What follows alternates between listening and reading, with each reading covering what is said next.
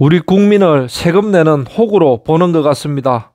1200억을 쏟아부어 가지고 지어놓은 삼국유사 테마파크 문 열자마자부터 해서 3년 연속 적자가 나고 있습니다. 반갑습니다 여러분 여기는 대구시 군위군 상국유사 테마파크입니다.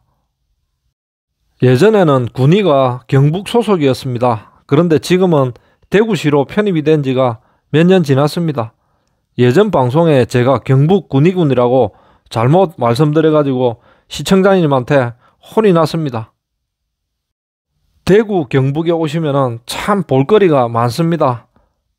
4천억 들여서 화롭게 지어놓은 청사도 있고 그리고 경북에서 관광 문화사업 한다고 우리 세금 2조를 투자를 했습니다.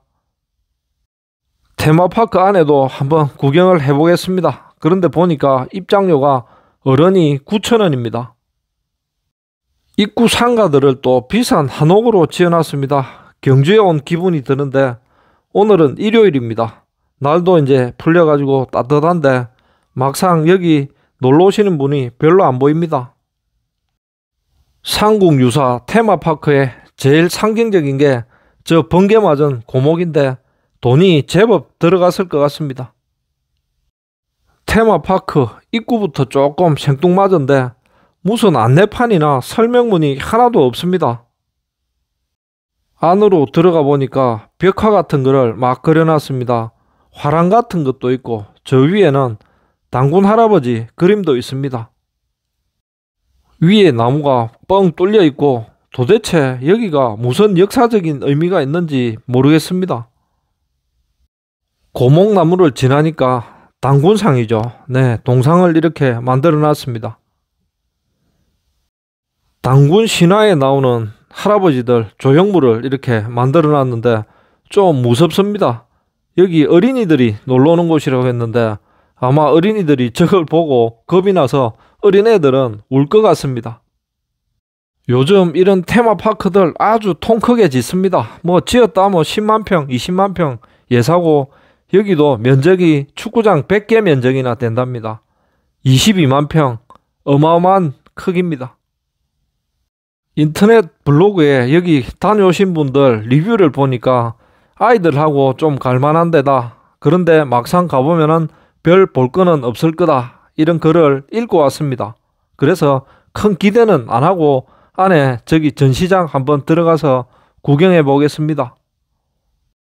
1200억이나 들여가지고 이렇게 지어놨으니까 웅장하고 깔끔하게 잘 지어놨습니다.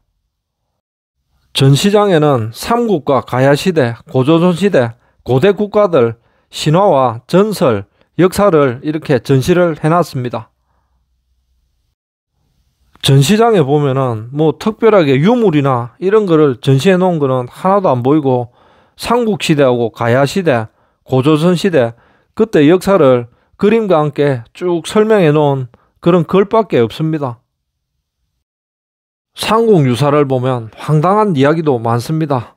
가야국의 왕이 된 김수로 왕은 하늘에서 내려온 6개 알 중에서 태어났다는데 요즘 그런 거 애들이 믿을지 모르겠습니다. 역시 블로그 리뷰대로 안에 들어와 봐도 별로 볼 게 없습니다. 바로 옆에는 삼국 유사면이 있습니다. 면 소재인데 이름이 좀 특이하죠. 삼국 유사를 집필했던 일연서님이 대구 군위군 여기 인각사에 있는 절에서 삼국 유사를 써서 여기에다가 삼국 유사 테마파크를 만들었다고 합니다. 저 건너편에 보이는 건물이 아마 카페를 하려고 했는데 지금 뭐 간판도 없고 이렇게 텅텅 빈, 빈 건물입니다. 한옥으로 돈 많이 들여서 잘 지어놨는데 아깝습니다. 상국유사 테마파크 이거 짓는다고 우리 세금이 1200억이나 들어갔습니다. 요즘 세금이 얼마나 넘쳐나길래 조그마한 테마파크 하나 지으면 몇백억은 기본이고 이렇게 대규모로 지으면 테마파크 짓는데 천억, 이천억 날려먹는 거는 예사입니다. 그렇게 큰 돈을 쏟아붓고 개장을 했는데 문 열자마자부터 지금까지 계속 적자의 허덕입니다. 매출이 3년 동안 25억밖에 안 되는데 운영비는 49억이 들었답니다. 적자 24억은 우리 세금으로 메꾸고 운영을 이렇게 하고 있습니다.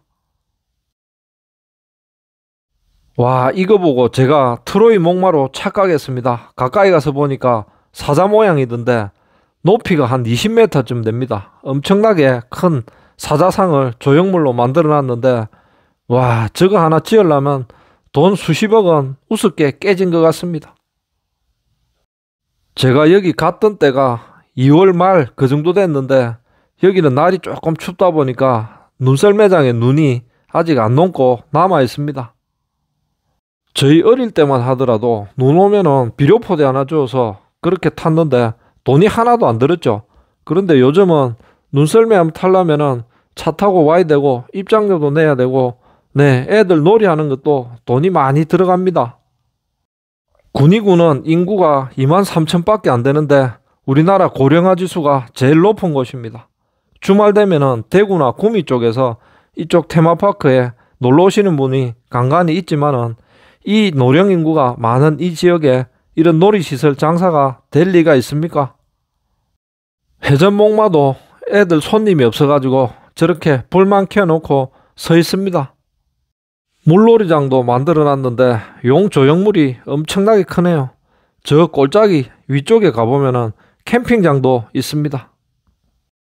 제발 우리나라 지자체 나리들 세금 좀 아껴 쓰십시오. 국민들이 힘들게 벌어서 내는 세금 이렇게 허탕으로 쓰고 있습니다. 세금이 어디 하늘에서 떨어진 것도 아닌데 국민을 세금 내는 기계로 보는 것 같습니다. 이런 짓거리 안 하고 지자체에서 아 국민 여러분 세금 낸다고 고생 많으셨습니다. 우리가 헛짓거리 안 하고 세금 아껴서 잘 쓸 테니까 내년부터는 세금 조금만 내십시오. 이러면 진짜 선진국이 되겠죠. 언덕 위에를 보니까 이렇게 곰이 한 마리 딱 앉아 있습니다.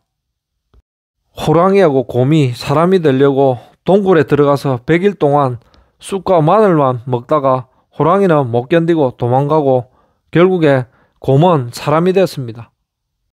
그래서 여자가 된 곰은 환웅하고 결혼을 해서 고조선 우리나라를 최초로 세웠답니다.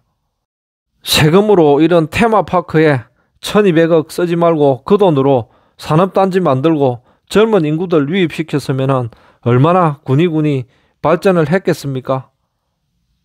우리나라 지자체들 무슨 사업하는 거 보면 웃깁니다. 이상한 조형물 이런 거 만드는 거 참 좋아합니다. 무슨 토건 사업 벌려가지고 세금 빼먹을 궁리만 하지 백년지 대계를 생각하는 사람들은 없는 것 같습니다. 아마 우리나라에 제2의 IMF가 온다면은 우리 세금 이렇게 허투루 막 쓰는 이런 지자체들 그리고 부동산 투기 토건족들 때문에 우리나라가 경제 위기에 빠질 수 있다는 걱정이 듭니다.